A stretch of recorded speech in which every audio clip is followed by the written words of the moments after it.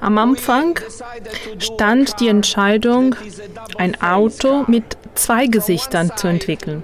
Auf der einen Seite ein Racing-Fahrzeug, auf der anderen Seite ein Auto, das es sich unter allen Bedingungen fahren lässt. Es bietet Leistungen wie ein Rennwagen. Das Auto entwickelt 660 PS und beschleunigt in 3,7 Sekunden von 0 auf 100 km/h. Die Höchstgeschwindigkeit von 335 km/h ist nichts Geringeres als sagenhafte Leistung. Vier bequeme Sitze und Allradantrieb. Drei Türen.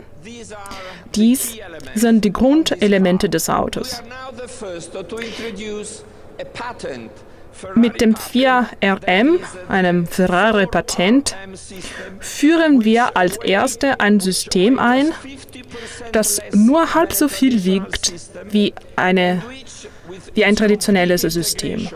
Mit seiner umfassenden Integration in das EDIF und die F1 Track Control überwacht es fortlaufend den an jedem Rad verfügbaren Grip und verteilt das Drehmoment in echter Zeit auf die Räder.